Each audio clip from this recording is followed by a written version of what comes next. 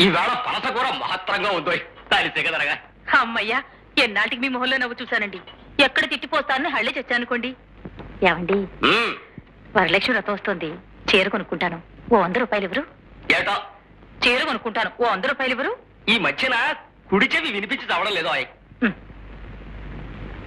చీర కొనుక్కుంటాను. ఓ రెండు వందలు ఇస్తారా? వంద పెంచావా? వచ్చాయి. వంద రూపాయల చెవి దగ్గరికి వచ్చాయి. రేపు పొద్దున గురునాథానికి చెప్పి ఇప్పిస్తాలే. వీడొకడు. బంధువు అయిపోవడం మూలంగా వీడిని తీసేను లేను. వీడు విసురుళ్ళు సణుగుళ్ళు విట్టు ఊరుకోను లేను. వేధవ స్ఫూర్తి మొహం వీడును. ఎవరిది? జానకం వదిలేండి అలాగా? ఒంటరిగా ఉంటుంది. పాపం కాస్త మంచి జడ చూస్తున్నావా. ఏమండి? శారదని మన అబ్బాయికి ఇచ్చేస్తే ఎలా ఉంటుందంటారు? ఏమిటి శారదని. మన అబ్బాయి పిచ్చి అవునండి. బాగుంటుంది. నీ మొహం. మన మగ పెళ్ళి వారమే పెళ్ళి సంబంధం గురించి ఆడపిల్ల తాలూకు వాళ్ళు ముందు మనతో మాట్లాడాలి. అదా. వదిలి గారే ముందు ఈ మాట నాతో అన్నారండి. నువ్వేమన్నావు? సరే అన్నావా? అంటే చెప్పు చస్తే ఈ సంబంధానికి ఒప్పుకోరువా ఆహా లేదండి. మీతో చెప్పి చూస్తా అన్నాను. అన్నావు కదా?